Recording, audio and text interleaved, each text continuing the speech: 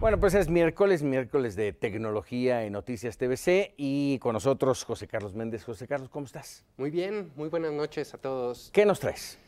¿No te pasa que se te acaba la batería del No, bueno, teléfono? frecuentemente. La tableta, la computadora. Y córrele a buscar a dónde conectarla, dónde cargarla, si es que no has traído un- una batería de, de auxilio, ¿no? Exacto, la adicional. Pues vaya que ahora en Barcelona nos dieron una grata noticia. A ver, y es que desarrollaron una nueva batería a base de calcio, utilizando eh, como electrodo negativo calcio eh, metálico Actualmente son de níquel cadmium de níquel y de litio. y de litio. Exactamente. Y el calcio, pues, es eh, muchísimo más abundante en la tierra, más barato de conseguir.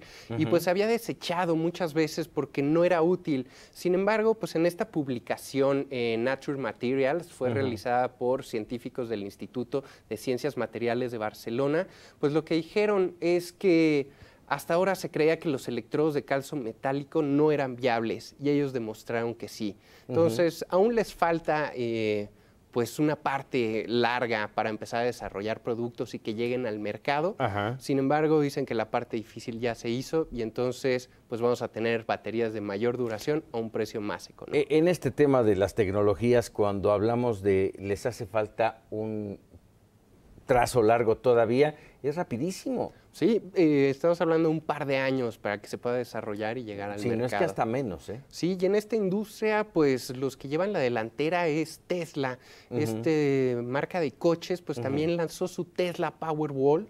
Y entonces una batería, pero ya para los hogares. Entonces tú puedes generar eh, electricidad con paneles solares, la almacenas en esta batería y entonces puedes tener varias horas de electricidad e incluso reducir tu consumo de energía. De energía. ¿Qué otra cosa? Por otro lado, YouTube lanzó su parte de paga, YouTube Red. Y esto es pues esta comunidad de videos que tiene más de mil millones de usuarios en el mundo, pues ya lanzó su esquema de paga en el que lo que ellos dicen es que te van a quitar los anuncios, ya no vas a ver los desagradables anu- anuncios, vas a poder ver videos sin estar conectado a internet, los vas a poder descargar, Descargar. en tu teléfono. Y tiene la parte de Google Play Music que es similar a eh, los servicios de streaming de música como Spotify, RDO o Apple Music. Entonces, pues viene todo esto integrado y se lanzó el día de hoy en Estados Unidos y se espera que esté disponible para el resto del mundo a principios del próximo año. ¿Qué tanto éxito, JC, han tenido este tipo de, aplicaciones y de empresas finalmente que eh, lo que hacen es venderte eh, productos, en este caso música, videos? ¿Qué tan eh, exitosos han sido?